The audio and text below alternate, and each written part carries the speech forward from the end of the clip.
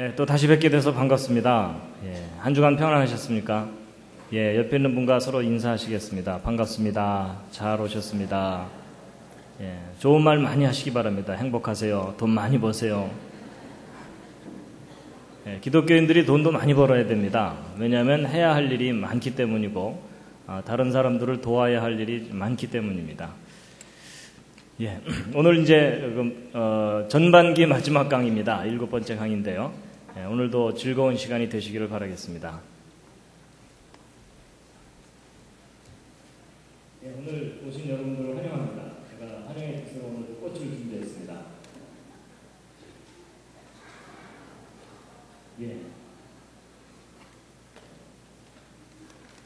이제 오늘 어, 이제 지난번 여섯 번째까지 강의를 했고요. 그다음에 이제 일곱 번째 공룡 이야기입니다. 재미있는 공룡 이야기입니다.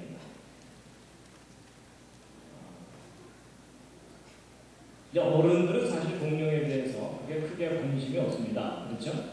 예, 요즘은 이제 아이들, 특히 그 사내 아이들이 이 공룡에 한때 완전히 뭐 미친다고 해야 될까요? 다들 집중하는 때가 있습니다. 예, 그럴 때 이제 그 아이들에게 우리에게 무엇을 어떻게 가르쳐 줄 것인가 하는 것인데요. 창세기 1장 25절 말씀인데 함께 읽으시겠습니다. 시작.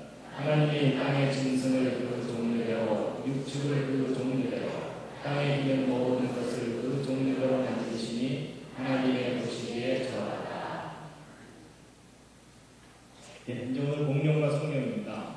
혹시 살아있는 공룡을 보신 분 계십니까? 아, 그런 분 없으시죠? 예.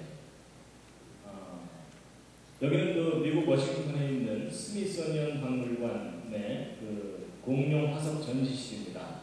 다양한 종류의 공룡들의 화석들을 전시해 놨는데요. 이제 공룡은 여, 공룡은 영어로 dinosaur라고 하는데 아, dino라는 말이 무시무시하게 크다 뭐 이런 뜻이고 saurus는 도마뱀 이런 뜻입니다.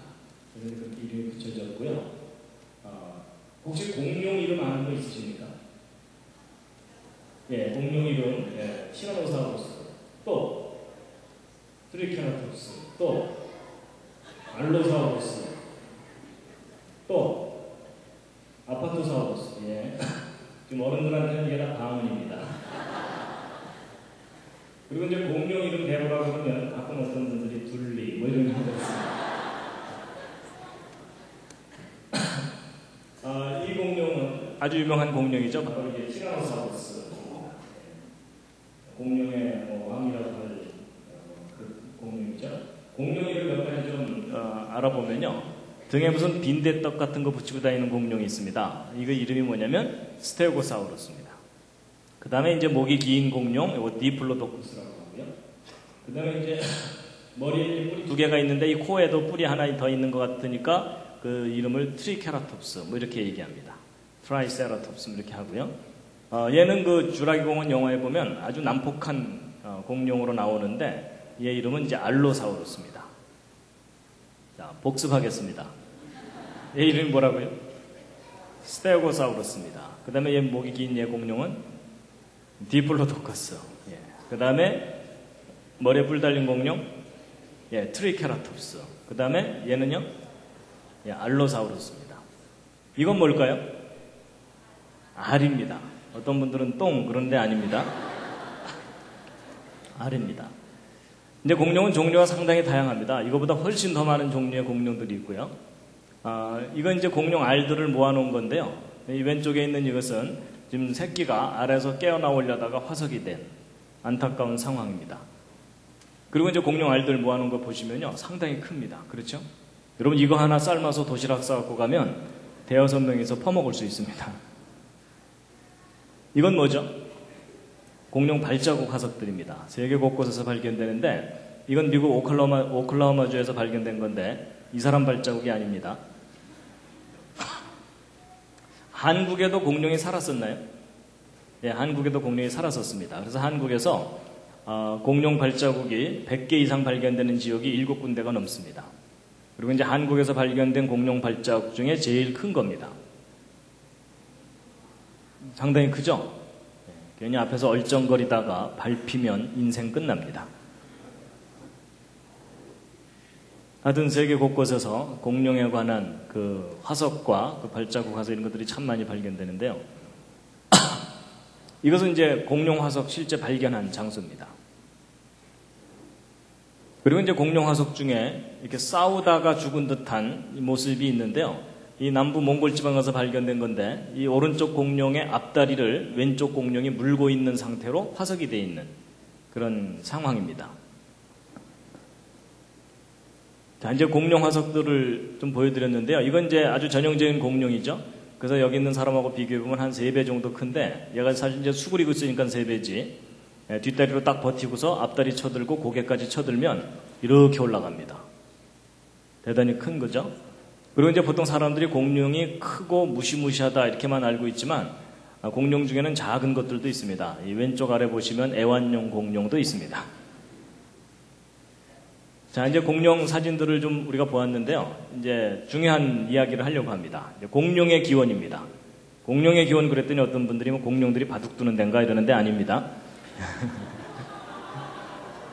갑자기 추워지시죠? 자, 이제 공룡이 어떻게 생겨난 거냐 하는 건데, 어, 성경에 의하면 하나님이 만드신 동물들입니다. 근데 어, 학교에서 가르치는 진화론에 의하면 이 도마뱀 같은 종류들이 점점점 변해가지고 공룡이 생겨났다는 겁니다. 그래서 이제 어, 창조, 진화 둘 중에 어느 것이 옳으냐라는 걸 우리가 좀 판단을 해봐야 되는데, 어, 이제 중요한 것은 이제 공룡과 사람과의 관계입니다. 퀴즈를 하나 드리겠습니다. 이런 공룡과 사람이 같은 시대에 함께 살았습니까? 서로 다른 시대를 살았습니까? 옆에 있는 분과 한번 상의해 보시죠. 공룡과 사람은 같은 시대에 함께 살았습니까? 서로 다른 시대를 살았습니까? 자, 확인해 보겠습니다. 자, 1번. 같은 시대에 함께 살았다. 그 중에 내가 봤다. 그런 분한 계시고요. 아니다. 서로 다른 시대를 살았다. 예, 이제 그동안 강의를 여러 차례 했기 때문에 그런 분들이 별로 없으시군요. 예, 내려주시죠. 어, 이제 확인해 볼 텐데요. 이 학교에서 가르치는 진화론에 의하면 공룡은 언제 살았던 동물이라고 얘기하냐면 중생대에 살았었다고 합니다. 근데 이 중생대가 지금부터 2억 3천만 년 전부터 시작해서 6,500만 년 전에 끝났다는 겁니다. 그래서 공룡은 6,500만 년 전에 멸종한 동물이라고 이제 학교에서 가르칩니다. 그래서 6,500만 년 전에 공룡들이 다 멸종한 후에 인간은 기껏해야 100만 아, 년 전, 아주 길게 잡아봤자 1000만 년 전쯤 원숭이가 진화돼서 인간이 된 거다. 이렇게 가르치니까 진화론에 의하면 공룡과 인간은 적어도 몇 년 동안 못 만나는 겁니까? 6천 년이 아니라 6천만 년 이상 어, 시간 간격을 두고 만난 적이 없는 겁니다. 그렇죠? 예. 그러니까 이제 인간이 살아있는 공룡을 본다는 것은 헐리우드 영화에서나 가능한 일이지 실제 지구 역사상 그런 일은 없었다라는 것이 진화론입니다. 그래서 여러분들도 이 신생대 공룡 이런 말은 들어보지 못하셨을 겁니다. 진화론에서는 공룡은 다 중생대 멸, 멸종한 것으로 이제 그렇게 이야기하고 있습니다. 그런데 이제 다 함께 읽으시겠습니다. 근데 이제 성경에 의하면 성경에 의하면 하나님께서 이 세상 모든 동물들을 창조하실 때 공룡도 하나님께서 만드셨어야 되겠죠? 그렇죠? 예. 자, 그러면 여러분 하나님께서 이 세상을 6일 동안 창조하셨다고 성경에 기록되어 있는데 공룡은 몇째 날 창조하신 걸까요? 옆에 있는 분과 또 상의해 보시기 바랍니다. 공룡 몇째 날 창조됐죠? 자, 지금 아무 생각이 안 나시는 것 같아서 이제 공룡 얘기하기에 앞서서 하나님이 창조하신 6일 동안 창조하신 것을 오늘 좀 확실하게 정리를 하고 넘어가도록 하겠습니다. 자, 분, 분당 우리 교회 성도님들의 창세기 상식 수준을 또 점검해 보도록 하겠습니다. 자, 6일 동안 창조된 순서 한번 맞춰보시기 바랍니다. 여러분, 첫째 날 뭐가 창조됐죠? 빛. 예. 둘째 날? 예. 셋째 날? 예. 둘째 날이 기억 안 나는데 셋째, 셋째 날이 어떻게 기억나겠습니까? 제가 오늘 좀 정리를 해드리도록 하겠습니다. 제가 그림 그려왔습니다. 자, 이거 보시면서 이제 대답하시면 됩니다. 첫째 날 뭐가 창조됐습니까? 빛입니다. 예, 그리고 빛과 어둠을 나누셨고, 둘째 날 물인데요. 이게 물을 창조하신 건 아닙니다. 그런데 둘째 날의 주제는 물입니다. 그래서 하나님께서 지구를 덮고 있는 물을 하늘 위의 물과 하늘 아래의 물로 나누신 겁니다. 자, 셋째 날은 예, 땅이 솟아 올라오고 그 위에 식물을 만드셨습니다. 그 다음 이제 넷째 날은 뭘까요? 넷째 날이 뭐냐면 해와 달과 별입니다. 예, 근데 해나 달도 다 별이니까 그냥 별 이렇게 기억하시면 됩니다. 그 다음에 이제 다섯째 날은 새와 물고기. 예, 여섯째 날은 육지동물과 사람. 이렇게 창조하신 겁니다. 자, 다 기억하시겠습니까? 자, 다시 복습. 첫째 날, 빛. 둘째 날, 물. 셋째 날, 땅과 그 위에 식물. 예, 넷째 날, 해달 별. 다섯째 날, 새와 물고기. 여섯째 날, 육지동물과 사람. 예. 지금이야 이제 분위기에 편승해서 대충 대답하셨지만, 이제 내일만 돼도 다 까먹으실 겁니다. 옆에 있는 분과 서로 좀 확인 좀 해주시기 바랍니다. 한 분이 물어보고 한 분이 대답하시고.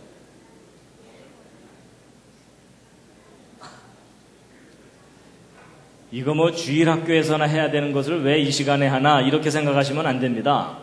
여러분, 여러분 하나님이 제일 처음 하신 일이 창조하신 거잖아요. 그렇죠? 그럼 여러분이 하나님을 믿으신다면 하나님이 하신 일에 대해서 관심이 있어야 됩니까? 없어야 됩니까? 있어야 되죠? 그럼 하나님이 첫 번째 하신 일만큼 우리가 좀 기억을 해야죠. 그렇죠? 예. 자, 그래서 이제, 어, 사실 저거 6일 동안 창조된 거 일일이 외우는 게 쉬운 일이 아닙니다. 그렇죠? 예, 조그만 시간 지나면 다 잊어먹는데요. 제가 오늘 안 잊어먹는 방법을 알려드리겠습니다. 여러분 6일 동안 창조된 걸 일일이 외우려 그러면은 안 외워집니다. 잘 보세요. 그림을 보시면 앞에 3일만 외우면 뒤에 3일은 자동입니다. 그림 한번 보세요. 여러분 앞에 3일과 뒤에 3일이 뭔가 그림이 닮았죠? 그렇죠? 모르셨죠? 주일학교를 좋은 데 나와야 됩니다. 근데 주일학교에서도 이렇게 잘 못 가르쳐 줍니다. 여러분, 아, 첫째 날 빛하고 넷째 날 해달별이 서로 밝고 어둡고 이런 거잖아요. 그렇죠? 그 다음에 둘째 날 위아래 나누시고 위아래 만드시고 그리고 셋째 날 땅이 드러나게 하시고 그 위에 동물들, 사람 만드시고 그러니까 딱 세 글자만 외우시면 되는 겁니다. 뭡니까? 빛, 물, 땅. 요것만 외우면 해결됩니다. 그러니까 하다못해 이렇게라도 좀 외워주시면 감사하겠습니다. 여름에 장마 끝나고 나면 빗물이 땅에 고이죠? 뭐 그렇게라도 좀 외워주시면 되는데 물론 그 빛하고 이 빛은 좀 다른 거긴 하지만 뭐 그렇게라도 좀 외우시면 됩니다. 근데 이제 이렇게 알려드려 봤자 또 어떤 분들은 나중에 이제 뭐라 그러는지 아세요? 야, 빗물이 땅에 고이다냐, 땅에 빗물이 고이다냐, 이러면서 이제 헷갈립니다. 정 안 되면 색깔로라도 기억해 두시면 됩니다. 까맣고, 파랗고, 빨갛고, 뭐 이렇게라도 외우시면 됩니다. 자, 그럼 다시 한번 확인. 첫째 날, 빛, 둘째 날 물, 셋째 날 땅, 그 다음에 넷째 날 별, 새와 물고기, 육지동물과 사람. 예, 훨씬 수월해지시죠? 그렇죠? 예, 그렇게 하시면 됩니다. 자, 그럼 이제 이렇게 정리를 딱 해놓고 나면 공룡은 몇째 날 창조된 거겠습니까?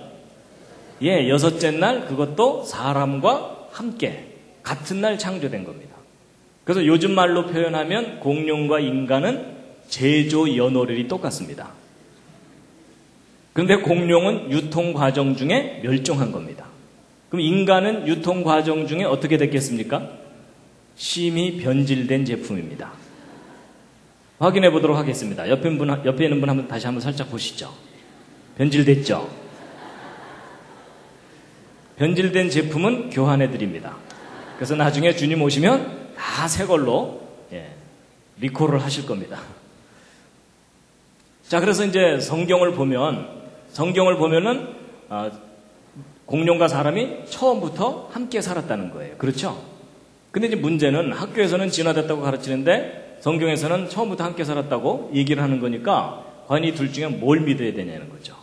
근데 일반 사람들은 어느 쪽을 더 믿냐면 당연히 교과서를 더 믿습니다. 그렇죠? 교과서는 틀릴 리 없다. 성경이 오히려 신화다. 이렇게 생각합니다.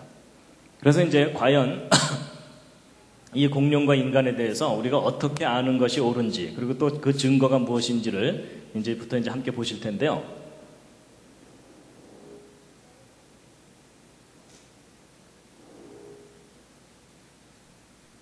예, 이제 그 백문이 불여일견입니다. 과연 공룡과 사람이 서로 다른 시대를 살았던 것이냐, 아니면 함께 살았던 것이냐 하는 건데요. 아, 무엇보다도 이제 증거가 중요합니다. 여러분 증거도 없이 믿으려면 무슨 믿음이 필요하다고요? 대단한 믿음이 필요합니다. 근데 우리가 증거를 알고 나면 아, 당연히 확신을 하게 됩니다. 함께 한번 읽으시겠습니다. 시작. 후일에 너희 자손이 물어 가로되 공룡과 그 화석들은 무슨 뜻이뇨 하거든 뭐라고 대답해 주셔야 될 것 같습니까? 아무것도 안 떠오르시죠? 그래서 이제 오늘 뭐라고 대답해야 되는지를 이제 확인을 시켜 드릴 텐데요. 이게 진화론에서는 공룡이 수천만 년 전에 멸종한 거다 이렇게 얘기를 하는데 이제 과연 그런가 하는 겁니다. 어, 이 남미의 페루에 옛날 잉카 문명이 있었습니다. 그 잉카인들의 이제 후예들인데 그 페루에 어, 아이카라고 하는 요 지역인데요. 그 지역에서 발견된 어, 사람 두개골인데요. 이건 지난번에 제가 인류 기원할 때 잠깐 말씀을 드렸었죠. 근데 이제 이런 희한한 머리뼈를 남겼던 이 사람들, 어, 이 사람들이 아주 이상한 유물을 남겨놨습니다. 어, 이분이 이제 그 페루 분인데 그 아버지 때부터 이런 검은 돌들을 천 개 이상이나 수집해가지고 이제 소장하고 있고 그걸 이제 사람들에게 이제 알리는 분인데 이게 잉카 사람들의 무덤이나 이런 곳에 부장품 형태로 많이 들어있던 돌입니다. 그래서 잉카 사람들의 유물인데 거기에다가 잉카 사람들이 이상한 그림들을 많이 그려놨습니다. 그래서 이것은 지금 태양 숭배하는 우상 숭배 장면이고 요 밑에 있는 것은 이 동물 하나가 이렇게 엎어져 있고 잉카 사람이 그 옆에 쪼그리고 앉아 있는데 어, 이 머리 부분에 무슨 꼬맨 자국 같은 것도 있고 여기 튜브 같은 걸로 연결돼 있고 여기 이 칼 같은 도구들이 보이죠. 이게 지금 무슨 장면이냐면 뇌 수술하는 장면입니다. 잉카 사람들이 뇌 수술을 했었다는 구체적인 증거들이 어, 발견됩니다. 근데 이제 그보다 더 중요한 것은 바로 이제 이 그림 보시면요. 여러분 오른쪽 사람들은 분명히 잉카 사람들이고요. 근데 이제 왼쪽에 요 뭐죠? 공룡이죠? 그렇죠? 근데 무슨 공룡입니까? 지금 이름이 중요한 게 아닙니다. 이게 지금 무슨 공룡이냐면 오동통한 공룡입니다. 이게 무슨 얘기냐면 공룡 화석 발굴 장면이 아니고 살아있는 공룡과 싸우고 있는 장면입니다. 그렇죠? 이 잉카의 손에는 무기가 들려져 있거든요. 그래서 이 공룡이 무슨 공룡이냐면 이제 알로사우루스일 거라고 추정되는 공룡입니다. 그런가 하면 요 밑에 있는 공룡은요. 머리에 뿔 달린 공룡 아까 기억나십니까? 뭐였죠? 트리케라톱스죠? 예, 근데 잉카 사람이 지금 손에 도끼 같은 걸 하나 들고 손도끼 하나 들고서 지금 이 트리케라톱스로 올라타고 있는 겁니다. 자, 근데 이 그림을 잘 보시면 이제 퀴즈를 하나 푸셔야 됩니다. 뭐냐면 여러분이 트리케라톱스를 잡으려고 올라탄 걸까요? 아니면 이 트리케라톱스를 길들여서 타고 가는 걸까요? 어느 쪽인 것 같습니까? 잘 보시면 이 트리케라톱스 등 위에 안장이 놓여져 있습니다. 그렇죠? 그러니까 이 트리케라톱스를 사냥하려고 올라탄 게 아니고 저 트리케라톱스를 타고서 어딘가를 가고 있는 겁니다. 아마 더 큰 공룡 잡으러 가는 건지도 모릅니다. 그런가 하면 이 오른쪽에는 목이 긴 디플로도커스가 있습니다. 그 옆에 잉카 사람이 하나 창을 들고 서 있죠. 근데 이게 너무나 이상한 유물인데 왜냐하면 여러분 그 현대 그 과학자들이 이 공룡의 존재를 알기 시작하고 체계적으로 연구한 것이 1800년대 이후입니다. 근데 이 유물을 남겨놓은 잉카 사람들은 지금부터 500년 전쯤에 스페인에 멸망당한 그 이전에 한 천년 기간 동안 문명을 이루었던 사람들입니다. 그럼 여러분 오늘날의 공룡에 관한 지식이 과거로 전달될 수는 없잖아요. 그렇죠? 그럼 도대체 이 잉카 사람들이 무엇을 근거로 해서 이렇게 공룡의 그림을 선명하게 그려놓을 수 있느냐 하는 겁니다. 그것도 살아있는 모습으로. 진화론적인 편견만 없다면 무엇을 증거하는 거겠습니까? 잉카 시대에도 공룡이 잉카인들과 함께 살고 있었고 그들의 사냥의 대상이 되거나 그랬었다는 겁니다. 참 신기한 유물이죠. 어떤 돌에는 여러 마리 공룡이 한꺼번에 그려져 있기도 합니다. 여기 보시면 등, 등에 빈대떡 같은 거 붙이고 다니는 공룡 기억나시죠? 예. 그리고 어떤 경우는요, 공룡이 사람 뒤에 나타나서 애비 뭐 이러고 있는 장면도 있어요.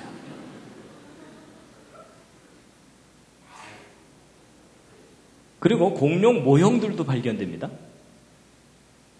실물 모형입니다. 그래서 이 트리케라톱스 있고요. 이건 오리주둥이 공룡이거든요. 그리고 트리케라톱스 위에 사람이 올라탄 경우도 있고요. 자, 그 다음에 이제 어, 이제 요 아이카 지역에서 좀 내려가면 나스카라고 하는 지역이 있는데요. 그 나스카 지역은 아, 여기는 사막지대입니다. 그리고 이제 강을 따라서 여기 밭들이 좀 있고요. 근데 이제 요 부분입니다. 요 부분에 그 아마도 그 옛날 그 읽은 책 중에 고대의 불가사의 뭐 이런 책 있잖아요. 거기에 이제 자주 등장하는 건데 이 하늘에서 내려다보면 거대한 그림들이 보이는 그런 겁니다. 그래서 정작 이 땅에서는 안 보여요. 그림이 하도 커갖고. 그래가지고 이런 100m가 넘는 이런 동물들을 이렇게 그 선으로 이렇게 그려놓은 그림이거든요. 근데 이제 바로 이 잉카 사람, 이 나스카 사람들이 이제 이런 천 조각들도 남겨놓고 그랬는데 AD 700년경 사람들입니다. 근데 이 천 조각에 그려진 이 그림을 잘 보시면은 뭡니까? 예, 공룡이에요. 그렇죠? 그리고 이제 이 남미에서 좀 올라가서 이제 멕시코의 아캄바로라는 지역에서 아, 발견된 유물들인데 점토를 구워서 만든 아, 어떤 형상들입니다. 근데 이 아캄바로 사람들은 잉카 사람들보다도 어, 더 오래전 사람들인데 대략 예수님 오셨을 때쯤 살았던 사람들이거든요. 근데 이 사람들이 남겨놓은 이런 점토 유물들이 상당히 많이 발견됐습니다. 그 중에 이제 일부 희한한 동물들이 섞여 있는데 그 동물들이 바로 이런 것들입니다. 공룡 종류죠. 그래서 이 추피쿠아로 문명의 유물들인데요. 그래서 여기 이 돈 패튼 박사라는 이분이 직접 이 박물관을 찾아가 가지고 어, 이 점토 로 만들어진 이 이상한 동물들을 사진을 다 찍어서 지금 인터넷에 올려놓았는데요. 이거 하나하나 보시면요. 공룡들입니다. 지금 초등학생들 경연대회 작품이 아닙니다. 2000년 전 사람들이 남겨놓은 공룡 종류의 그 동물 모형들입니다. 아예 공룡하고 씨름도 하고 있어요. 그리고 어, 숨 막혀 뭐 이러는 장면도 있고 어, 내 손 내 손 뭐 이러는 장면도 있고요.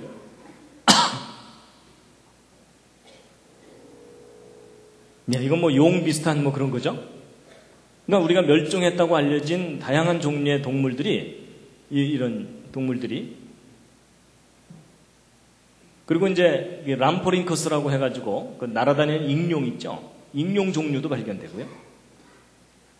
그리고 이제 이 사람들이 얼마나 사실적으로 정확하게 점토 모형을 만들어 놨냐면 이구아노돈이라는 공룡이 있는데 이, 이 공룡이 꼬리를 수평으로 이렇게 치켜들고 살았다는 것을 최근에 와서야 알게 됐습니다. 옛날엔 그거 몰랐을 때는 1800년대 어, 처음 상상도를 그릴 때는 꼬리를 축 처지게 잘못 그렸거든요. 근데 놀랍게도 2000년 전 아캄바로 사람들이 이구아노돈이 꼬리를 수평으로 뻣뻣하게 이렇게 쳐들고 있는 모습으로 모형을 남겨놨어요. 그래서 요 머리 부분에 요, 요 특징이 닮았죠, 여기. 그렇죠? 예. 그러니까 직접 살아있는 것을 보지 않고는 저런 그림을 그리는 것이 거의 불가능한 일입니다. 그러니까 결국 여러분과 저만 모르고 살았던 겁니다. 그 이상한 진화론 교육 때문에 수천만 년 전에 멸종한 것으로 잘못 알고 있었던 겁니다. 그 밖에 이제 안킬로소로스라든지 어, 브론토소로스도 거의 사실적인 모습으로 모형들이 남겨져 있습니다. 아예 사람과 함께 이렇게 있는 장면도 있고요. 그리고 좀 더 올라가면 이제 북미 대륙의 그 인디안들이 남겨놓은 벽화들이 발견되는데 어, 그랜드 캐년 근처에서 발견된 벽화입니다. 여기 사람 사람들이 이렇게 있고 여기 잘 보시면은 공룡이죠. 그리고 또 다른 벽화에도 미국 유타주에 있는 그 모누멘트 암벽이라고 하는 곳인데 여기 사람들 몇 사람 이렇게 있는데 이쪽 벽면에 보시면은 그림이 그려져 있는데 여기 보시면 이건 사람이죠. 근데 이 타원으로 된 요거 여기를 잘 보시면 동물이 하나 그려져 있습니다.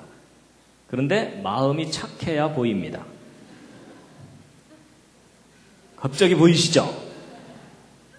네, 대략 윤곽이 이런 모양입니다. 그렇죠? 머리가 여기 있고 꼬리가 이렇게 있죠? 공룡입니다. 그리고 이제 애리조나 투손에서 1924년에 이제 발견된 건데 로마 시대 형태의 나무로 만든 유물입니다. 그런 것들이 꽤 오래전에 만들어진 칼들 이런 것들이거든요. 도구들인데 그 칼의 표면에 공룡 모양이 새겨져 있기도 합니다.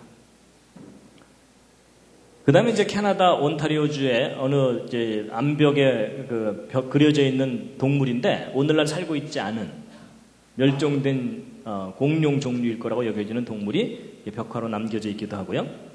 그다음에 이제 프랑스에 옛날 네안데르탈인들이 살았었다고 는 동굴 아, 어, 그런 지대 속에서 발견된 어, 벽화인데 잘 보시면 동물이 두 마리가 그려져 있습니다.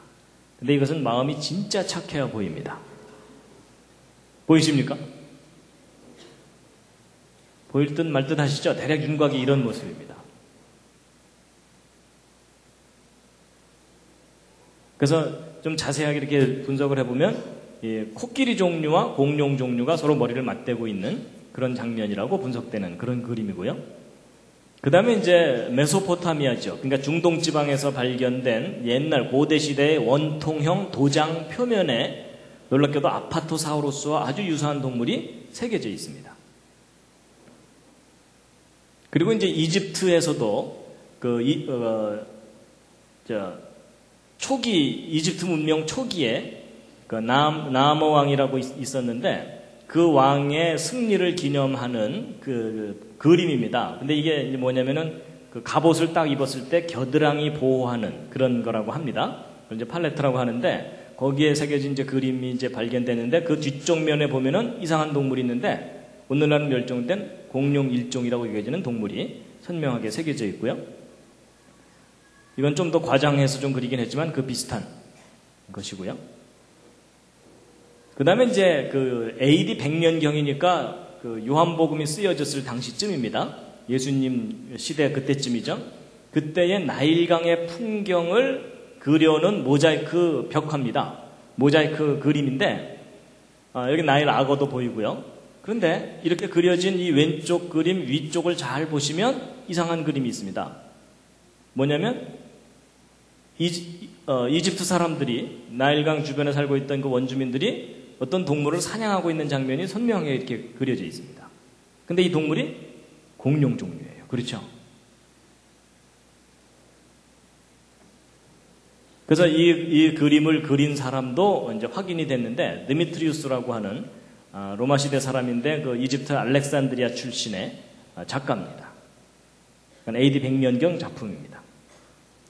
그리고 이제 여기 이제 그 이 동물의 그 이름도 여기 써, 있, 어 있습니다. Krokodilopardalis 뭐 이렇게 돼 있어 갖고 어, 그때 당시 용어로는 악어 표범이라고 합니다.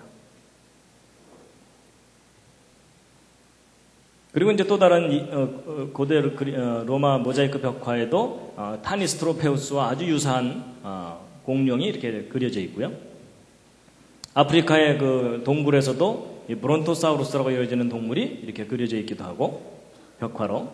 그 다음에 터키 카리아 지방에서는 어, BC 530년경 작품인데 이 화병 같은 표면에 모사사우루스라고 하는 어룡 종류가 그려져 있습니다. 지금은 이제 그 진화론에서는 이게 다 중생대에 살다가 멸종한 거다 이렇게 이야기하는 거거든요. 그 다음에 이제 BC 550년에 이 트로이의 괴물인데 이 헤라클레스, 헤라클레스가 헤시오네 공주를 구하는 장면을 그린 건데 근데 요 밑에 있는 이 동물들이 좀 그려져 있는데 어, 이 동물들 이거는 뭐 이제 오리 종류 비슷한 거라고 본다면 이게 좀 이상하게 생긴 동물이거든요. 근데 이것이 아마도 하드로사우루스 종류일 가능성이 있다라고 이제 분석되고 있습니다. 그리고 이제 고대 인도네시아의 그 이 수마트라 섬 어, 쪽에서 발견된 것인데 어, 헝가리 부다페스트 박물관에 이제 보관되어 있는 건데 여기 있는 이 동물이 좀 이상하죠. 근데 이 동물 보시면은 그 하드로사우루스 종류가 머리 부분에 이상한 장식들이 좀 이렇게 있거든요.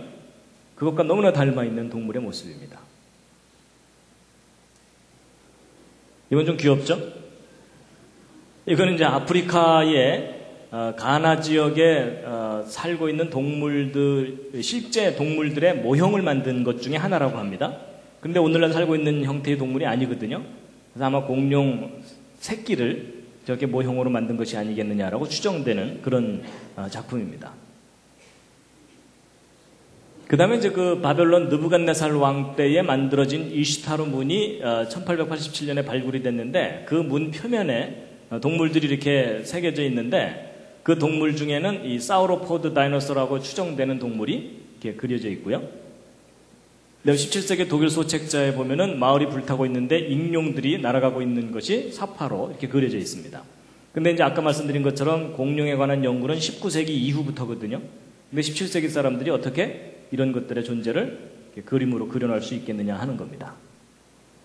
그 다음에 이제 이집트에서 발견된 또 다른 도장인데 어, 도장에 새겨져 있는 그림을 잘 보시면은 이 프테로사우루스라고 하는 익룡이 이 가젤이라고 하는 이런 동물을 사냥하고 있는 장면이 남겨져 있습니다. 그러니까 우리가 다 진화론에 의하면 수천만 년 전에 다 멸종했다고 하는 동물들이 역사의 유물 속에 증거들로 이렇게 남아 있는 거예요.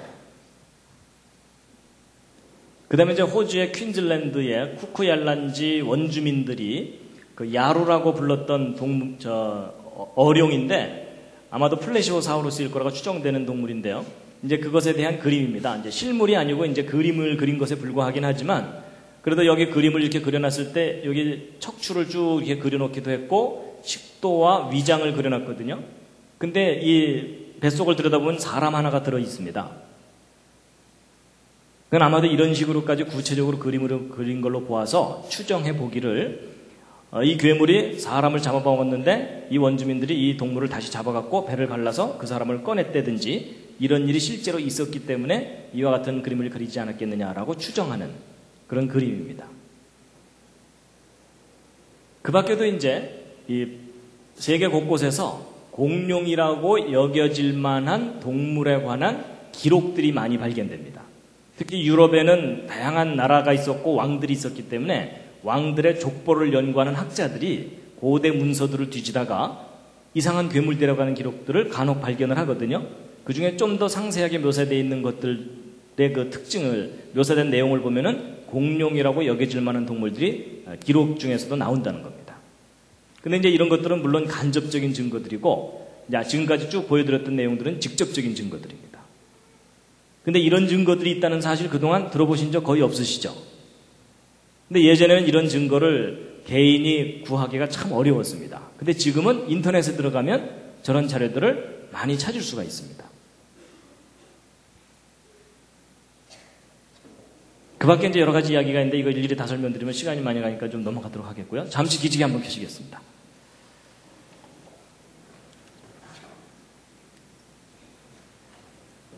충격을 받으셨는지 피곤하신지 모르겠지만 지금 상태가 안 좋으십니다.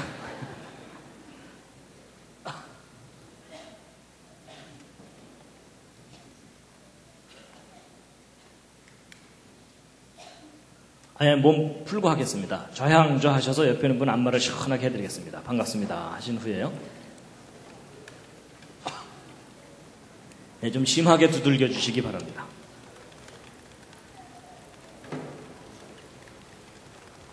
대충 하시면 안 됩니다. 옆에 앉은 분이 오케이 할 때까지입니다.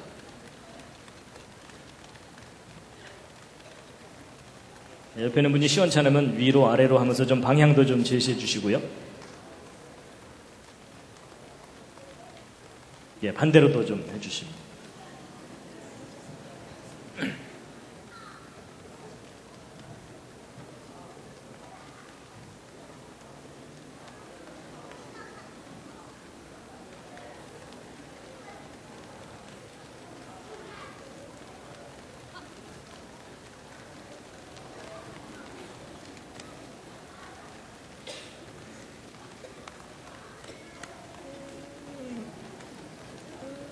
뭐 서로 오케이를 안 하시는 거 보니까 정말 몸이 상태가 안 좋으신 건가 봅니다.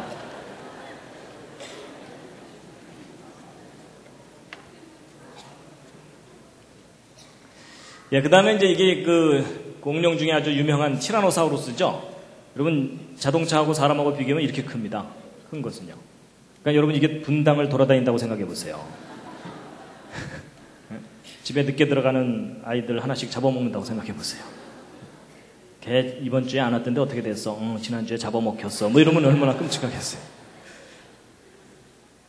근데 이제 이 티라노사우루스 렉스에 대해서 참 신기한 증거가 하나 발견되는데요. 미국의 이 잭 호너라는 공룡 연구하는 어, 박사가 있는데 그 밑에서 일하는 메리 슈바이처라는 연구원이 티라노사우루스 렉스의 다리뼈 어, 화석을 발견한 다음에 그 내부를 구조를 조사한다고 현미경으로 들여다보다가 뭘 발견했냐면 화석화되지 않은 이 티라노사우루스 렉스의 그 티슈, 그러니까 그 생체 조직이 발견된 겁니다.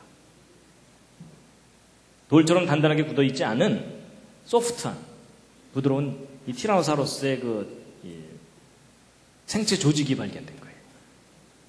근데 여러분, 수천만 년 전에 멸종한 거라면 저런 증거가 남아 있을 수 있겠어요, 없겠어요? 절대 불가능한 일입니다. 그렇죠? 심지어 적혈구 흔적도 발견됐는데, 여러분, 이 뼈 같은 것은 수천만 년 보존될 수 있지만, 적혈구 같은 것들은 이 분자 결합 구조가 약하기 때문에 시간 지나면 자연 분해가 일어납니다. 그건 저 수천만 년 됐다면 절대로 남아 있을 수 없는 그런 증거물들인데, 놀랍게도 그게 발견이 된 겁니다. 그건 공룡 절대로 수천만 년에 죽은 동물이 아닙니다. 이 티라노사우루스 렉스는 분명히 죽은 지 얼마 안 된 겁니다. 6,500만 년 전에 멸종했다. 이런 설명들은 이게 거짓입니다. 뭔가 잘못된 겁니다. 그리고요, 이 알라스카나 이런 지역에 가면요, 이 공룡의 싱싱한 뼈들이 발견됩니다. 화석이 아니라 뼈가. 그래서 이, 그 발견한 사람들이 표현을 해놨는데요. 이거 한번 해석해 보시죠. 해석은 쉬울수록 좋습니다. 싱싱하기를 어제 죽은 개뼈다구 같다. 뭐 이런 뜻입니다.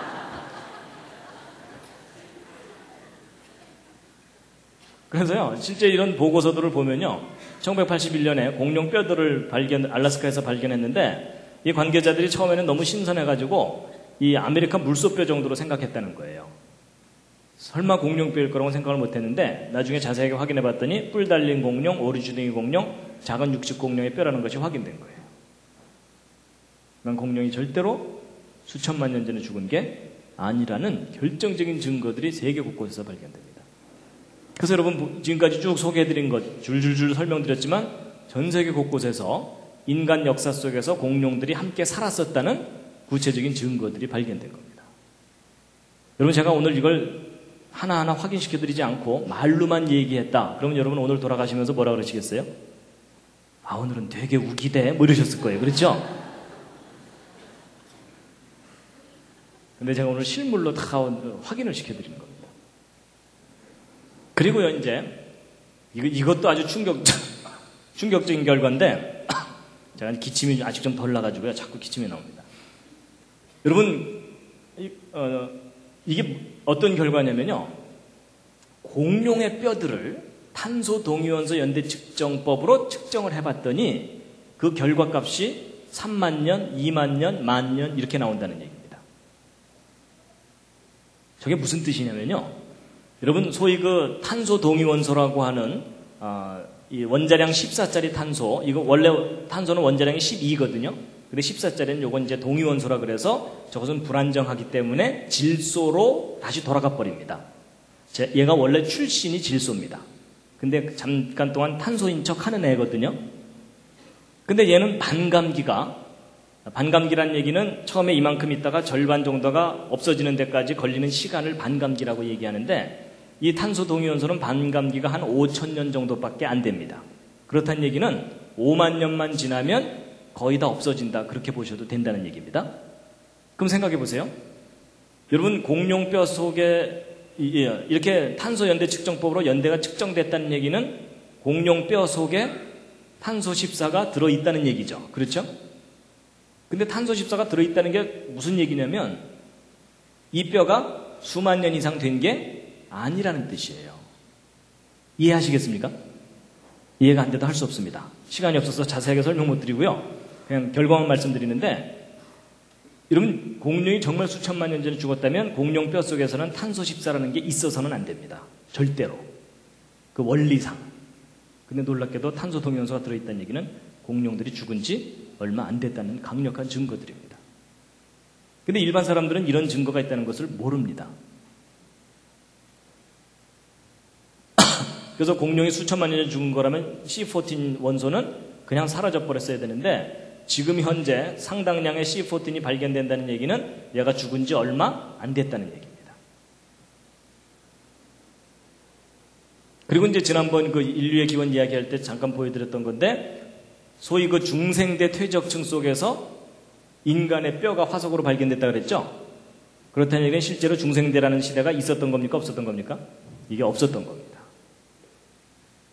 그러니까 지금 전 세계 사람들이 진화론이라는 잘못된 이론에 다 속고 있는 겁니다. 그게 교육에 심각한 영향입니다. 잘못된 스토리를 사실처럼 믿고 있는 그런 상황이라는 거죠. 그래서 지금까지 보여드린 증거 중에 하나라도 사실이라면 진화론이 근본적으로 잘못됐다는 겁니다. 그래서 이렇게 뭐 수, 어, 수억 년 세월 동안 진화됐다는 이 스토리가 근본적으로 잘못됐다는 걸 말씀드렸고요. 그렇다면 이제 지금까지 증거를 종합해 보면 종합해 보면 이 진화론에는 근본적인 문제가 있고 오히려 인간과 공룡은 처음부터 함께 살았다는 성경의 창조론이 더 타당하다는 거죠. 자, 그러면 이제 성경이 옳다면 우리가 하나 생각해 봐야 되는 게 뭐냐면 여러분 성경을 보면은 말도 나오고 뭐 개도 나오고 동물들 많이 나오죠. 근데 여러분 성경에 공룡이 나오나요? 있는 분과 한번 상의해 보시죠. 여러분 성경에 공룡이 나오나요? 자, 확인해 보겠습니다. 1번 나온다, 2번 안 나온다, 3번 잘 모르겠다. 4번 성경을 읽어본 적이 없다. 자, 자 1번 성경의 공룡이 나온다고 생각하시는 분. 예, 지금 손 안 드신 분들이 상당히 당황해하고 있습니다. 내 성경엔 없던데 뭐 이러면서 예, 내려주시고요. 예, 안 나온다고 생각하시는 분들도 있고요. 예, 잘 모르겠다. 예, 대부분 잘 모르시는군요. 여러분 성경대로 생각해 본다면 하나님께서 6일 동안 천지 창조하실 때 공룡을 여섯째 날 만드신 거라면 여러분 공룡이 별로 특이하지 않은 동물이라면 안 나와도 괜찮겠지만 공룡이 상당히 특이한 동물이잖아요. 그렇다면 성경에 한 번은 나올 법하죠. 근데 여러분 성경에 공룡이 나온다는 말도 맞고 안 나온다는 말도 맞습니다. 무슨 얘기냐면 여러분이 가지고 있는 그 성경에는 공룡이라는 단어가 없습니다. 그래서 사람들은 성경에 공룡이 있다는 걸 모릅니다. 근데 여러분 성경을 성경이 원래 우리나라 말로 쓰여져 있던 게 아니라 성경 구약 성경 같은 경우는 히브리어로 쓰여져 있었고 신약 성경은 헬라어로 쓰여져 있죠. 근데 그 특히 구약 성경 히브리어 원문을 들여다보면 공룡이라고 믿어질 만한 동물이 나옵니다. 그래서 그 대표적인 예가 바로 욥기서의 40장을 보면은 40장 15절에 이제 소같이 풀을 먹는 하마를 볼지어다 이렇게 나오거든요. 여러분 그 욥기서는 그 욥이라는 사람이 이 사탄에 의해 가지고서 하나님 이 사탄이 하나님께 가가지고서 쏙닥쏙닥거리면서 제가 한번 이 욥을 괴롭게 하면 이 욥이 하나님을 부인할 겁니다. 뭐 이러는 바람에 고생하는 스토리 아시죠? 예. 그래갖고 이 욥기서 읽으면 참 재밌습니다. 재밌는데 처음 앞부분은 재밌다가 이 욥의 세 친구가 등장하면서 상당히 지루해집니다. 그래서 성동 통독하려고 마음먹었던 분들이 저 세 친구가 나오는 순간부터 시험에 들기 시작합니다. 근데 이제 욥의 고난이 다 끝나고 난 다음에 마지막에 하나님이 짠 하고 나타나십니다. 근데 나타나셔갖고 사실 우리 생각으로는 하나님이 나타나시자마자 욥한테 I am sorry 뭐 이러셔야 되거든요. 근데 성경에서는 하나님이 욥에게 미안하다는 말을 안 하세요. 그러면서 하나님께서 뭐라고 쫙 설명을 하시는데 설명하는 주제가 뭐냐면 내가 창조자다. 그 말을 하시는 거예요. 그러면서 이제 이것저것 얘기를 하시면서 네가 어, 내가 땅에 기초를 놓을 때 너 어디 있어서 말해봐. 아는 거 있어? 얘기해봐. 막 이러시는 거예요. 근데 욥의 대답이 또 신통한 거가 우리 같으면 막 화가 나갖고 어? 괜히 쌩 고생했잖아요. 이러면서 막 대들어야 되는데 욥이 또 그때 아 저는 죄인입니다. 이러면서 그냥 납작 엎드립니다. 그래서 이 욥교서의 주제는 정말 창조자 하나님을 내가 절대자로 인정하느냐 뭐 이게 주제인 것 같아요. 근데 이제 그 하나님이 나타나셔갖고 욥에게 창조자로서의 권위를 쫙 얘기하실 때 어느 동물을 또 예를 들으세요. 그게 바로 요 대목입니다. 그래서 이제 우리말 성경에는 이제 하마라고 되어 있거든요. 근데 이제 여러분 중에 아마 그런 분들이 계실 거예요. 아, 드디어 저 교수가 오늘 하마를 공룡의 일종이라고 우기려는가 보다. 근데 제가 여러분 하마를 공룡이라고 우기려는 게 아니고요. 제 설명을 들어보면 이해가 되실 텐데요. 여러분 이 구약 성경 그 엽기서 40장 15절을 히브리어 원문으로 보면 이 베헤모트라고 되어 있습니다. 근데 이 베헤모트라는 동물이 정확하게 무슨 동물인지를 모릅니다. 그래서 영어 성경은 차라리 히브리어 발음을 그대로 영어로 이렇게 해놨어요. 베헤모스라고. 근데 희한하게도 우리말 성경에 하마라고 번역이 된 거예요. 그래서 제가 뭐 러시아에 가서도 남미에 가서도 이, 이 성경 저 성경 다 들여다봤는데 다 베헤모트라고 돼 있어요. 근데 유독 이 한국인의 독창적인 아이디어 때문에 저걸 이상하게 하마로 번역을 해놨는데 여러분 이 동물이 하마가 아닙니다. 그래서 그 밑에 설명이 자세하게 나와 있거든요. 근데 어쨌든 이제 우리말 성경에 하마라고 돼 있으니까 하마부터 잠깐 보시겠습니다.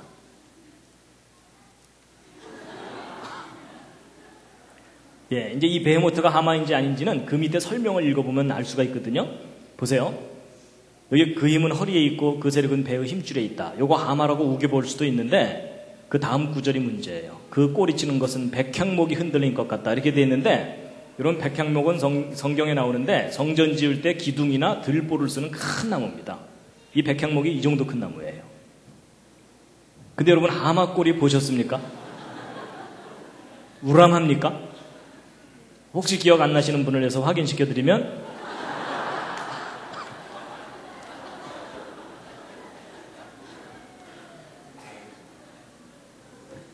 분명히 이 베헤모트라는 동물은 하마는 절대 아닙니다. 그렇죠? 네. 분명히 거대한 꼬리를 가진 어떤 동물이거든요. 예, 그 다음에 이제 19절도 보시면요. 하나님의 창조물 중에 으뜸이라 이렇게 돼 있죠? 여러분 동물 가운데 하마를 으뜸이라고 생각하시는 분. 여기 으뜸이라는 말은 앞뒤 문맥상으로 볼 때 가장 거대한 동물입니다. 그렇죠? 그럼 여러분 육지에 살았던 동물 중에 가장 거대한 동물은 지금 현재 살고 있는 것 중에 있습니까? 멸종된 것 중에 있습니까? 멸종된 것 중에 있죠. 그걸 우리가 부르기를 뭐라고 불러요? 오늘날 공룡이라고 불러요. 그렇죠? 예. 그 다음에 이제 그 뒤에 또 하나 더 보시면요. 좀 더 보시면 요단강이 불어서 그 입에 미칠지라도 태어나다. 여러분 요단강에 홍수가 나서 돼지가 동동동 떠내려가고 소가 둥둥 떠내려가는데 이 베헤모트라는 동물은 그 홍수가 나는 강을 유유히 건너서 왔다 갔다 한다. 뭐 그런 표현입니다. 그러니까 이렇게까지 표현되어 있는 그 동물은 분명히 얘는 아닙니다. 얘는 이 번역이 정확하게 안 된 거고 적어도 이 정도 되는 거겠죠. 그렇죠? 네. 여러분 여기 머리가 여기입니다. 몸, 목이 이렇게 있고 꼬리가 이겁니다. 꼬리. 요게 아닙니다.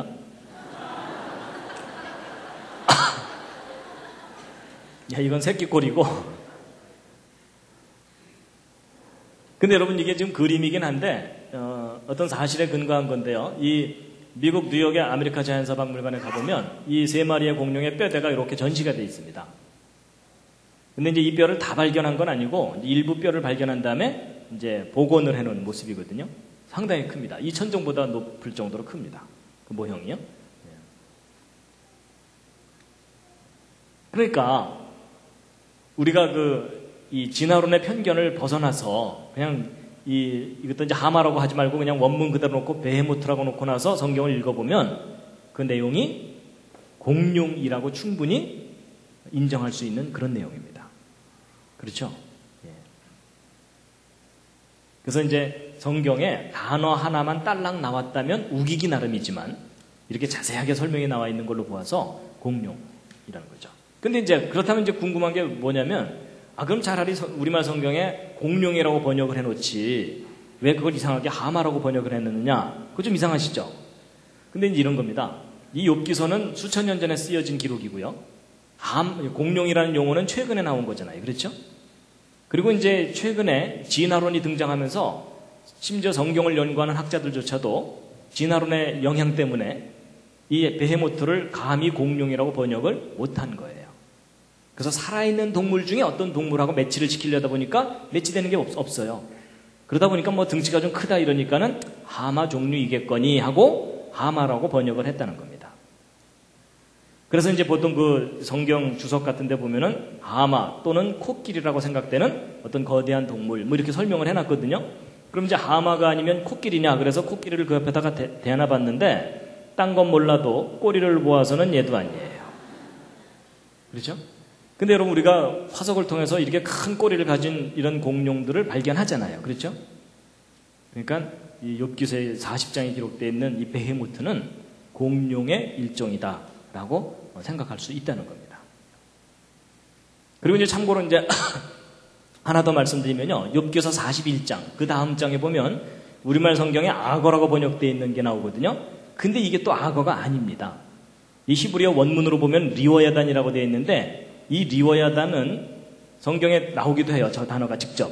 근데 저 리워야단은 다른 곳에는 대개 뭘로 번역되어 있냐면 용으로 번역되어 있습니다. 그래서 이 리워야단에 대해서도 하나님께서 자세하게 설명을 하시는데 특히 19절, 21절 요 노란색으로 제가 표시해 놓은 것을 한번 눈으로 보시면 어떤 동물이 떠오릅니까? 입에서 막 불이 나오는 용이 떠오르시죠? 용. 자, 여러분 또 퀴즈를 드리겠습니다. 여러분 그 막 입에서 불을 뿜는 이 용이라는 존재가 실제 역사 속에 살았었던 동물일까요? 아니면 사람들이 꾸며낸 동물일까요? 옆에 있는 분과 또 한번 상의해 보시기 바랍니다. 뭐 옆에 있는 분이 도움이 안 되니까 이젠 상의를 안 하시는군요. 자, 1번. 실제 역사 속에 살았었던 동물이라고 생각한다. 그러시는 분. 예, 꽤 많이 우기시는군요. 예, 내려주시고요. 그 다음에, 아니다. 그, 사람들이 꾸며낸 허구적인 동물일 거다. 예, 네, 예. 뭐, 반반이신데요. 근데 여러분, 우리가 생각해 봐야 될 게 뭐냐면요. 만약에 이 용에 관한 전설이 우리 한국에서만 발견된다면 우리 조상님들께서 워낙 뻥이 심하셔서 희한한 동물을 꾸며냈다라고 하면은 되겠지만 좀 이상한 점이 뭐냐면요. 이 용에 관한 전설이 전 세계적으로 발견됩니다. 그래서 이게 전세적으로, 전 세계적으로 발견된다면 무슨 구체적인 근거가 있을 것이다라는 것이 학자들의 어, 견해입니다.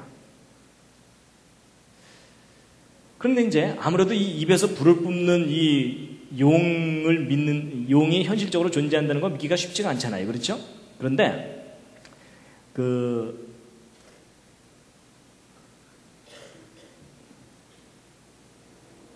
이건 저 용갈입니다. 실제 용이 아닙니다. 근데 이제 입에서 불을 뿜는 동물이 정말 있을 수 있느냐 하는 건데 일부 학자들은 그게 가능할 수 있다고도 생각해요. 왜냐하면 용은 아니지만 용과 비슷한 아주 특별한 무기를 가진 동물들이 있어요. 그 대표적인 예 중에 하나가 아주 조그마한 딱정벌레입니다. 근데 얘 이름이요. 이 딱정벌레는 종류가 아주 많거든요. 그 중에 이 폭격수 딱정벌레라고 하는 게 있어요. 이 봄바르드 미트리라 그래서 얘는 어떤 무기를 갖고 있냐면요. 이 두꺼비가 자기를 잡아먹으려고 가까이 다가오면 꽁무니에서 100도짜리 화학 폭탄을 발사해요. 온도는 100도 화학 물질이에요. 그러니까 얘가 잡아먹으려고 달려왔다가 헬렐레 하는 동안 얘는 유유히 사라지는 거예요. 근데 여러분 생각해 보세요. 제가 100도짜리 화학 폭탄을 한번 뿜고 나면은 이 꽁무니 어떻게 되겠어요? 완전히 익어버리고 얘는 중환자실로 가야 되겠죠? 근데 우리 생각에는 그런데 얘는요, 이걸 360도 자유자재로 자기가 원하는 대로 뿜을 수 있을 뿐만 아니라 4분의 80번을 뿜어내도 끄떡 없어요. 희한하죠? 그래갖고, 야, 별 희한한 놈이 다 있네. 사람도 얘한테 이거 쏘이면은 이렇게 막 화상을 입습니다. 그래서 이제 얘를 조사를 해봤더니 이 뱃속에 특별한 장치가 있어요. 그래서 이 화학 물질들이 서로 분비가 돼갖고 거기다가 효소를 딱 첨가하면은 폭발적으로 화학, 화학 반응이 일어나갖고 순간적으로 온도가 100도로 올라가고 압력이 확 늘어나는 거예요. 그러면 꽁무니가 시간을 딱, 타이밍을 딱 맞춰서 딱 열어주면 폭탄처럼 팍 나가는 거예요. 근데 여러분 이제 생각해 보세요. 얘가 만약에 이 타이밍을 잘못 맞춰서 꽁무니가 늦게 열렸다. 그럼 얘 어떻게 되겠어요? 얘는 어떻게 되냐면 자살 폭탄 테러 딱정벌레가 되는 겁니다. 반대로 이 꽁무니를 너무 일찍 열으면 어떻게 되겠어요? 이게 퍽 하고 나가버려야 되는데 픽 하고 나가면은 이 100도짜리가 한참 동안 나가면은 이 꽁무니 진짜 있겠죠? 근데 얘는 기가 막히게 타이밍을 맞춰서 착착 열어주는 거예요. 완벽하게 조절이 되어 있는 거예요. 참 신기하죠? 근데 여러분, 이런 특별한 기능을 가진 이런 딱정벌레는 절대로 진화에 의해서 저절로 생겨날 수 없다는 증거입니다. 왜냐하면 여러분 얘가 처음부터 얘가 정말 진화된 존재라면 처음부터 이런 기능이 없었겠죠. 그럼 얘가 이런 기능을 가지려고 진화를 하려면 얘가 얼마나 많이 실험을 해봐야 되겠어요. 그렇죠. 여러분 제가 완벽하게 성공하기 전까지는 다 실패예요. 실패는 곧 무엇을 의미해요? 죽음을 의미해요. 그렇죠? 그럼 여러분 이게 진화로 생겨나려면 저런 기능이 없는 딱정벌레 무리가 집단으로 결의를 하는 거예요. 우리는 계속 시도해본다. 뭐 이러면서. 근데 여러분 이건 아무리 생각해도 진화에 의해서는 생길 수 없는 동물이에요. 처음부터 완벽하게 설계하지 않는 이상 불가능한 생명체입니다. 동의하십니까? 예. 근데 이제 보세요. 이런 특별한 화학 폭탄을 발사하는 동물이 있다면 입에서 불을 뿜는 용은 오히려 쉬울 수 있다는 거죠. 여러분 생명체들이 메탄이나 알코올 같은 가연성 물질들을 몸에서 합성해낼 수가 있어요. 여러분도 가끔 뒤로 내보내시죠? 근데 이제 농도가 낮아서 불이 안 붙어서 문제지. 근데 이제 그런 것들을 몸에서 생산해낸 다음에 노즐을 통해서 뿜어내면 되거든요. 그리고 거기다가 뿜어내면서 스파크만 탁 튕겨주면은 사실 입에서 불이 나가는 것은 가능한 일이라는 거죠. 근데 여러분 전기 뱀장어 같은 것은 몇만 볼트 전기를 내잖아요. 그러니까 전기 스파크 같은 걸 탁 튕겨줄 수 있는 장치만 생명체에 있다면은 얼마든지 입에서 불을 뿜는 동물이 존재할 수도 있다는 겁니다. 근데 네가 봤냐 이러면 저도 또 할 말이 없어요. 그렇지만 원리적으로 볼 때 가능할 수 있다는 얘기입니다. 더군다나 여러분 성경에 써 있잖아요. 그렇죠? 여러분 기독교인은 하나 깊이 생각해야 되는 게 뭐냐면 성경에 써 있다면 일단 무시하면 안 돼요. 그렇죠? 딴 데 써 있으면 몰라도 성경에 써 있으면은 다시 한번 생각해 봐야 됩니다. 근데 분명히 하나님께서 그것도 직접 말씀하시잖아요. 내가 이 동물 다 만든 거다. 이렇게 말씀하시죠? 그렇다면 입에서 불을 뿜는 용이라는 존재가 실제 있을 수 있다라는 겁니다. 그래서 이제 참고로 이제 말씀을 드렸고요. 자, 그 다음에 이제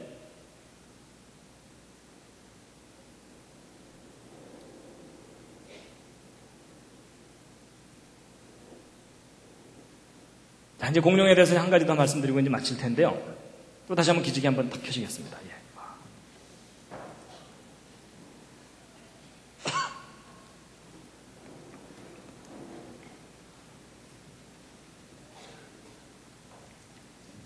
그 다음에 이제 공룡의 멸종입니다. 멸종. 여러분 지금 이렇게 다양하게 살고 있던 이 공룡들이 지금은 없죠? 멸종된 거죠? 여러분 공룡이 왜 멸종됐죠? 여러분 이런 어려운 질문은 쉬운 대답부터 하시면 됩니다. 공룡이 왜 멸종됐느냐 이런 질문을 받으시면 제가 안 죽였는데요. 이러시면 됩니다. 여러분 그 여리고성 얘기 아세요? 그죠? 어느 교회 목사님이 주일학교 교육이 잘 되나 보려고 다니다가 꼬마 하나를 딱 붙들어 세워갖고 예 여리고성을 무너뜨린 게 누구지 이렇게 물어봤더니 그 아이가 어때, 어떻게 했다고요? 예 얼굴이 파랗게 질려갖고 제가 안 그랬는데요 뭐 이랬대잖아요. 예. 그래갖고 이제 거기서 끝나는 게 아니고요. 그래갖고 이제 이건 문제가 있구나 그래서 그 아이를 가르치는 교사를 찾아가서 이거 어떻게 된 거냐고 따졌더니 그 교사가 뭐라 그랬다고요? 얘는 절대로 거짓말할 아이가 아닙니다. 이렇게. 아, 그래갖고 이거 문, 이 교육에 문제가 있구나 싶어갖고 부장 장로님을 찾아갔어요. 그래서 어떻게 된 거냐고 따졌더니 뭐라 그랬다고요? 제가 어떤 놈인지 꼭 잡아내겠습니다. 이런 거예요. 그리고 이건 정말 심각하구나 이래갖고 이번엔 당회를 열었어요. 그래서 대책을 논의하려고 당회를 열었더니 장로님들이 모이자마자 뭐라 그랬다고요?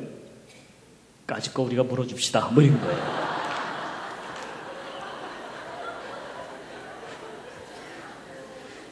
그래서 여리고성 무너진 거 그 교회에서 물어주기로 했답니다.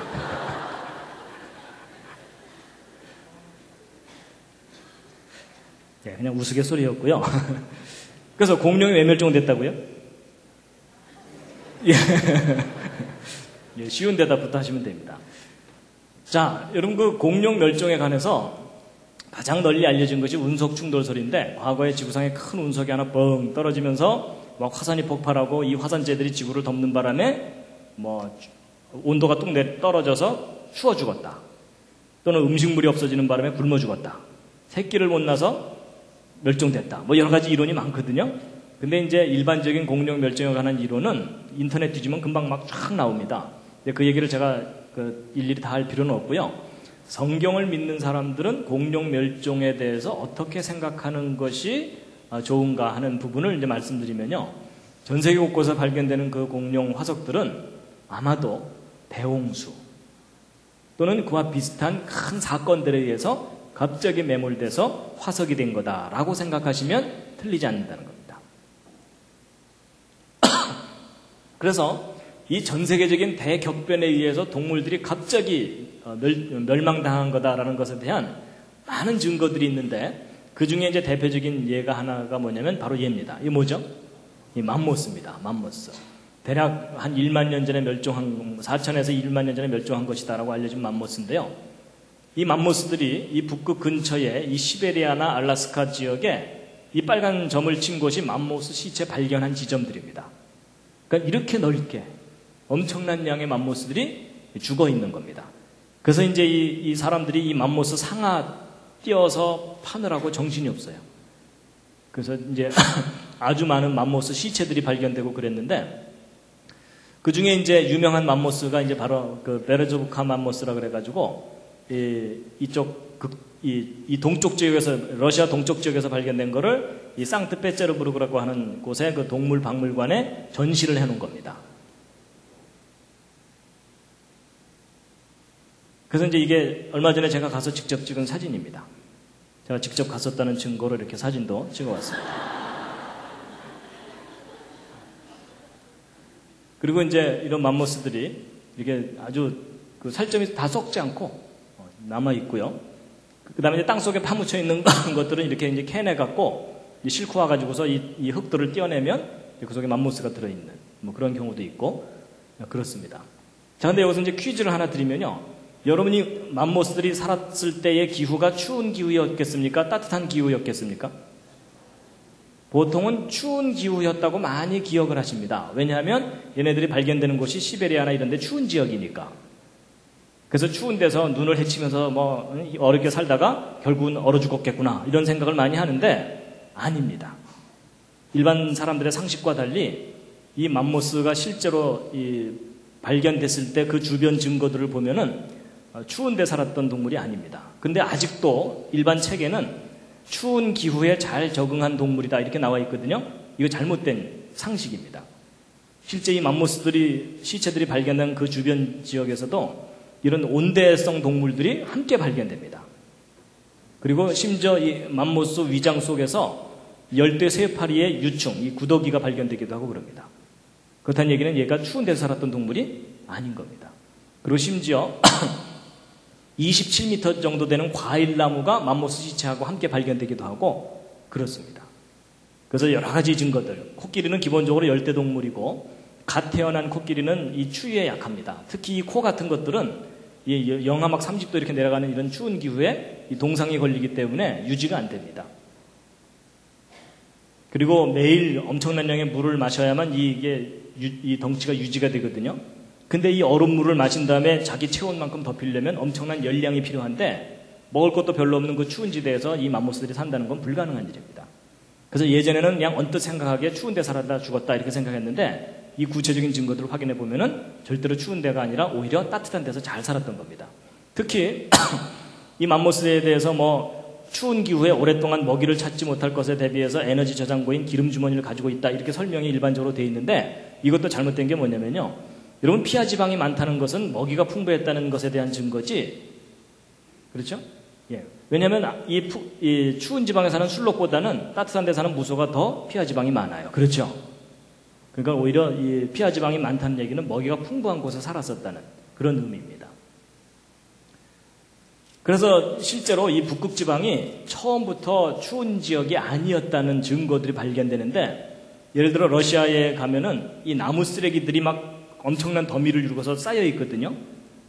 심지어 1.2km 두께로, 두, 어, 깊이로 쭉 파내려가도 계속 나무 쓰레기만 나와요. 근데 여러분 나무 쓰레기가 1.2km 두께로 쌓이려면은 원래 그 자리에 있던 나무들이 아닌 거예요. 대륙을 휩쓰는 거대한 홍수에 그 나무들이 한꺼번에 휩쓸려 갖고 그렇게 거대한 덩어리를 이루면서 어, 매몰됐다라고 봐야 되는 겁니다. 그래서 과거에 여기가 다 울창한 이 지구 전체가 살기 좋은 상황이었는데 대홍수와 같은 사건에 의해서 이런 것들이 엄청나게 쓰레기를 이루면서 여기저기 쌓여 있는 거다라고 봐야 된다는 겁니다. 자, 그런데 이제 어쨌든 따뜻한 데서 잘 살고 있던 이 맘모스들이 죽은 거잖아요. 그렇죠? 집단으로. 근데 여러분 어떻게 갑자기 맘모스들이 죽었는가에 대해서 퀴즈를 이제 풀어야 되는데요. 이 맘모스 시체 이 소화기관 내에는 음식물이 남아 있기도 하고요. 그 다음에 이런 맘모스들이 죽고 나면은 따뜻한 데서 살다가 죽었다 그러면은 새나 곤충이나 그 밖에 다른 육식동물들이 이런 것들을 뜯어먹게 되거든요. 근데 얘네들이 이렇게 잘 보존돼 있다는 얘기는 노출돼 있던 게 아니라 파묻혔다는 얘기입니다. 그렇죠? 그리고 서서히 파묻히면은 파묻히기 전에 다른 것이 뜯어먹어요. 근데 저렇게 생생하게 파묻혀 있다는 얘기는 그냥 갑작스럽게 죽은 다음에 곧바로 파묻혔다는 얘기입니다. 상황은 대충 이해하시겠죠? 그럼 이제 퀴즈를 하나 푸셔야 되는데 맘모스들이 죽은 원인 다음 셋 중에 하나를 한번 골라보시기 바랍니다. 1번 얼어 죽었다, 2번 굶어 죽었다, 3번 기가 막혀 죽었다. 몇 번일 것 같습니까? 정답은 3번입니다. 기가 막혀 죽었어요. 기가 막혔다는 말이 무슨 말이냐면 숨이 막혀 죽었다는 얘기입니다. 놀래서 죽었다는 얘기가 아니고요. 왜냐하면 이 맘모스가 죽어 있는 상태를 조사해 봤더니 이 시체를 검, 여러분 요즘 그 범죄 수사학이 발달했기 때문에 사람이 죽으면 어, 병으로 죽었는지 목 졸려 죽었는지 독약을 먹고 죽었는지 다 알 수가 있거든요. 신체적인 특징이 나타나기 때문에 근데 이 맘모스들이 죽은 이 신체적인 특징을 조사해 봤더니 얘네들이 숨이 막혀 죽은 거예요. 그리고 이 폐나 이런 곳에 진흙이나 이런 흙들이 많이 들어가 있어요. 그렇다는 얘기는 단순히 목 졸려 죽은 게 아니에요. 그렇죠? 그래서 이제 이게 어떻게 된 상황인지 그 주변 정황을 조사해 봤더니 거대한 모래 폭풍에 의해서 갑자기 파묻혀 죽은 거다라고 지금 추정되고 있어요. 그래가지고 맘모스가 이렇게 있다가 거대한 모래 폭풍에 순간적으로 이렇게 파묻혀갖고 질식해서 죽은. 그 후에 다시 질식해서 죽은 정도가 아니라 그 다음에 또 냉동 보존돼 있죠. 그러니까 이런 재앙들이 한꺼번에 온 거예요. 그런데 이런 것들이 죽어 있어 발견되는 그 범위가 이렇게 넓은 지역이잖아요. 그렇죠? 그러니까 이 모든 것들이 다 질식해 죽은 건 아니지만 많은 맘모스들이 질식해 죽은 흔적들이 있어요. 그렇다면 전 세계적인 대홍수 때에 이 대륙을 휩쓰는 거대한 폭풍이 불거나 그러면서 얘네들이 파묻히고 또 그대로 냉동돼 버린 거라는 거죠. 그래서 이 대홍수 때 지난번에 말씀드린 것처럼 기품의 샘들이 터져 나오게 되면 이 폭발할 때에 급격하게 온도가 내리, 냉각이 되거든요. 그래고 북극 지방이 그대로 그냥 얼어붙거나 이러면서 그때 죽은 맘모스들이 지금까지 시체로 생생하게 보존되어 있는 거다라고 보고 있다는 겁니다. 근데 이제 공룡도 마찬가지라는 거죠. 공룡도 아까 그 보여드렸던 자료 중에 알라스카 지역에, 지역에 공룡의 싱싱한 뼈들이 많이 발견된다 그랬죠. 그것도 부서진 상태로 발견되거든요. 그렇다는 얘기는 그냥 홍수가 나서 빠져 죽는 정도가 아니라 심하게 이 압력이나 이런 것들을 받으면서 부서져 있는 상태로 부서져서 파괴가 돼서 어, 죽어 있는 것을 이제 보여주고 있습니다. 그리고 이제 간혹 빙하기라는 걸로 설명하기도 하는데 만약에 온도가 서서히 내려가고 서서히 올라간다면 이런 맘모스 시체가 남아 있을 수가 없습니다. 왜냐하면 온도가 서서히 내려간다고 얘가 얼어 죽는 건 아니거든요. 그렇죠? 그리고 이렇게 얼어 죽었다 하더라도 날씨가 풀리면은 얘네들이 썩어버려야 되겠죠? 근데 썩지 않고 그 시체가 싱싱하게 남아있다는 얘기는 아주 빠르게 냉각됐을 뿐만은 대부분 다 썩어버리겠죠. 그렇지만 이제 파모, 어, 매몰된 것들만 화석으로 지금 발견되고 있다라고 보고 있습니다. 그래서 이제 공룡의 멸종도 이 맘모스와 맞물려서 어, 전 세계적인 대홍수 때 대격변에 의해서 어, 갑작스럽게 멸종했을 거다라고 어, 보고 있습니다. 그 다음에 이제 노아 방주에 공룡 실었다고요, 안 실었다고요? 노아 방주에 공룡 어, 실었어야 됩니다. 왜냐하면 아까 보여드렸던 사람과 공룡이 함께 살았다는 많은 증거들은 홍수 이후 증거들입니다. 그러니까 대홍수 때 당연히 공룡 살려야 됩니다. 그럼 방주에 공룡을 실었어야 된다는 거죠. 근데 이제 이 큰 공룡 어떻게 실었다고요? 옆에 있는 분과 한번 상의해 보시기 바랍니다. 이 큰 공룡 실는 방법.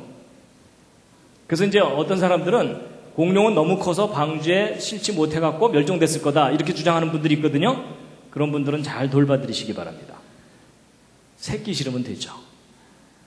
그렇죠? 여러분 노아가 제일 큰 공룡 끌고 와 갖고서 왜 안 들어가지? 왜 안 들어가지? 이건 아닙니다. 그렇죠? 예, 여러분 이런 상황 아닙니다.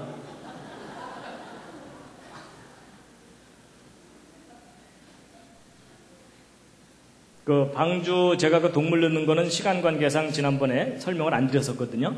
근데 그 동물들 정말 방주에 다 종류대로 넣을 수 있었느냐? 계산을 해보면 충분히 넣을 수가 있습니다. 자, 그 다음에 이제 먹는 얘기가 있는데 이걸 좀 넘어가고요. 자, 이제 지금까지 한 얘기를 이제 정리하고 이제 마치겠습니다. 이제 성경대로 생각해 본다면 창조 때부터 지금 현재까지 이 역사 동안에 이제 공룡이 어떻게 된 거냐라는 것을 추정해 보면 창조 때부터 시작해서 아담의 후손들이 대홍수 때까지 그 인구가 늘어나겠죠. 그리고 공룡도 역시 그 숫자가 늘어났겠죠. 근데 대홍수 때 전 세계적인 대홍수에 의해서 이 모든 것들이 다 죽고 방주에 탔던 것들만 다시 살아남았겠죠. 그랬을 때 방주에 탔던 그 사람들이 다시 지금 현재까지 60억 인구로 불어났습니다. 근데 공룡들도 역시 그 후에 다시 숫자가 늘어났겠죠? 늘어났는데, 그러니까 이렇게 공룡과 인간이 함께 살았으니까 이런 유물들이 남아있는 것이잖아요.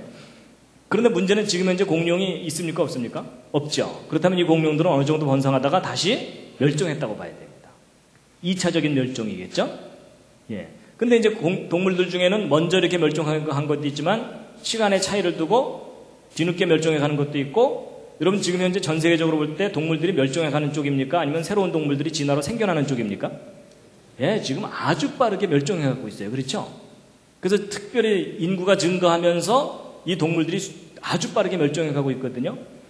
그런데 이제 어떤 것들은 아무리 멸종시키려 그래도 멸종이 안 되는 것들이 있어요. 뭘까요? 쥐, 바퀴벌레, 뭐 이런 거요. 그렇죠? 예, 걔네들은 아무리 노력해도 멸종이 안 돼요. 그래서 이제 동물마다 이렇게 시간 차이를 두고 멸종해 갈 텐데 결국 사람들이 동물에 대해서 체계적으로 연구하기 시작한 것이 뒤늦게 연구를 하게 됐어요. 그렇죠? 그러다 보니까 먼저 멸종한 것들은 화석으로만 발견되겠죠? 아마 이 그것에 해당되는 것들이 공룡일 거라고 여겨진다는 거죠. 그래서 여러분 보통 사람들이 무슨 질문을 하냐면 어, 왜 사자는 살아남았는데 공룡은 멸종했나요? 이런 질문을 많이 하거든요. 근데 여러분 그것은 생각을 바꾸셔야 돼요. 왜 하필이면 공룡만 먼저 멸종했느냐 그런 생각보다는 동물들이 멸종해 가는데 먼저 멸종한 것을 공룡이라고 부른다라고 생각을 하셔야 된다는 겁니다. 좀 바꿔 말하면 이런 겁니다. 여러분 기린이 오늘날 동물원에 가서 볼 수 있고 아프리카 가면 많이 볼 수 있으니까 기린을 공룡이라고 생각하는 사람들은 없죠. 근데 여러분 만약에 공룡들이 다 먼저 멸종을 하고 화성만 발견 아니 기린들이 다 멸종하고 화성만 발견됐다. 그럼 오늘날 사람들이 그거 이름 뭐라고 붙였을 것 같습니까? 기린을 영어로 뭐라 그러는 게 생각이 안 나시죠? 지라프라 그러거든요. 그러니까 뭐라고 이름 붙였겠어요? 지라포사우루스. 제가 무슨 말을 하는지 혹시 이해하시겠습니까? 여러분 돼지가 오늘날 흔하니까 돼지를 공룡이라고 우기는 사람 없잖아요. 근데 만약에 돼지들이 다 멸종하고 화성만 발견된다. 그럼 사람들이 그 이름 뭐라고 붙였을 것 같습니까? 피그사우루스 내지는 피그노돈.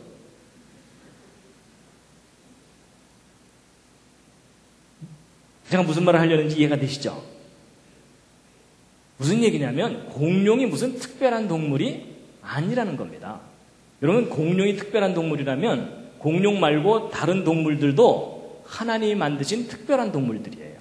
그렇죠? 근데 왜 오늘날 사람들이 공룡을 왜 그렇게 특이하게 생각하냐면 멸종해서 살아있는 모습이 안 보이니까 특이하게 생각할 뿐이라는 겁니다. 여러분 코끼리가 다 멸종됐다면 그 이름 뭐라고 붙였을 것 같습니까? 엘레판토사우루스. 그래서 여러분 우리가 생각을 바꿔야 됩니다. 어찌 보면 진화론 플러스 상업주의가 공룡을 특별한 동물로 사람들에게 여기, 여겨지게끔 만들어 놓은 거라는 거죠. 자, 그래서 이제 지금까지 쭉 공룡에 대해서 이것저것 말씀을 드렸는데요. 다시 한번 읽으시겠습니다. 시작. 후일에 너희 자손이 물어 가로되 공룡과 그 화석들은 무슨 뜻이뇨 하거든 뭐라고 대답하셔야 된다고요? 얘야 그 그때 내가 앞에 조금 듣다가 정신을 잃었단다. 이러시면 안 된다는 겁니다. 그러시면 안 되고 지금까지 한 얘기를 이제 정리를 해드리면요. 자, 다섯 가지로 정리할 수 있는데 자, 첫 번째. 여러분 공룡과 인간은 같은 시대에 함께 살았다. 서로 다른 시대를 살았다. 같은 시대를 함께 살았었다는 많은 증거들이 있다라는 걸 이제 오늘 확인시켜 드렸고요. 두 번째. 성경에도 공룡, 공룡에 관한 기록이 있다 없다? 예, 있다고 할 수 있다. 그렇죠? 예. 욥기서의 그 대표적인 예고요. 욥기서 말고도요. 히브리어 원문을 분석하는 분들이 히브리어로 탄닌, 탄니님 이렇게 표현되는 동물이 공룡의 일종일 거다라고 추정하고 있습니다. 그다음에 세 번째. 공룡의 집단적인 화석이나 이런 것들은 무슨 사건과 관련이 있을 거다?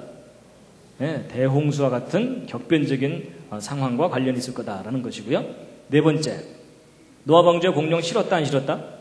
실었어야 한다. 그렇죠? 왜냐하면 대홍수 이후에 공룡과 사람이 함께 살았는 것이 분명하니까 노아 방주에는 공룡을 실어야 되는 겁니다. 특히 주일학교 아이들에게 좀 잘 가르쳐 주시기 바랍니다. 다섯 번째. 대홍수 이후에 공룡은 왜 멸종됐을까요? 자, 이 대답은 제 가슴에 손을 얹고 하셔야 됩니다. 대홍수 이후에 그 살았던 공룡들은 왜 멸종됐을까요? 잘 생각해 보시면 인간이 일차적인 원인입니다. 그렇죠. 여러분, 인간에게는 동물들을 멸종시키는 탁월한 능력이 있는 거 아십니까?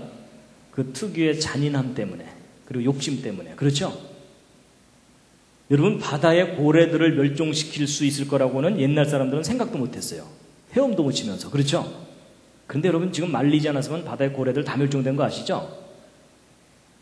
그래서 이 불어나는 인구와 인간의 욕심 때문에 주변 동물들이 아주 빠르게 멸종해 가고 있습니다, 지금. 그래서 공룡들도 예외가 아니라는 거죠. 여러분, 큰 동물과 작은 동물 중에 어느 쪽이 멸종하기 쉬울까요?